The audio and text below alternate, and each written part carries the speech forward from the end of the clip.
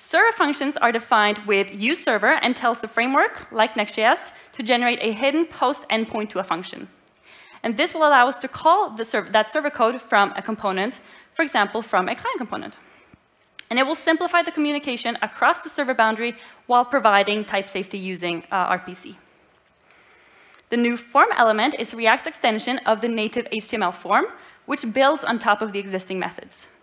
And this extension lets you create interactive controls for submitting information, as well as letting the action property call a function, for example, a server function.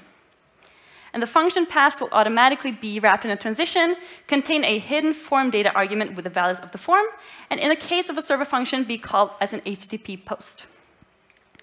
Use form status is a hook that provides information about the last form submission, so it must be used inside a form and can be used, for example, to disable a button or display the inputted data while a form is submitting.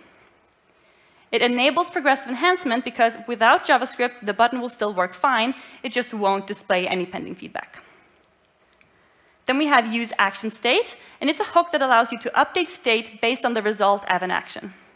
It also supports progressive enhancement because uh, it can allow the service response to be uh, returned without JavaScript and shown before hydration has completed. And it can be used, for example, to display error messages or um, other information returned uh, based on the return value. Lastly, we have use optimistic, which is a hook that lets you optimistically update UI while a background operation completes. And this will let you keep the UI snappy by providing instant feedback to interactions. It can be used, for example, with server functions and form submissions, but also with other potentially slow operations such as filtering based on route params. And this hook stands out because of its ability to seamlessly merge client and server state as the server finishes its update.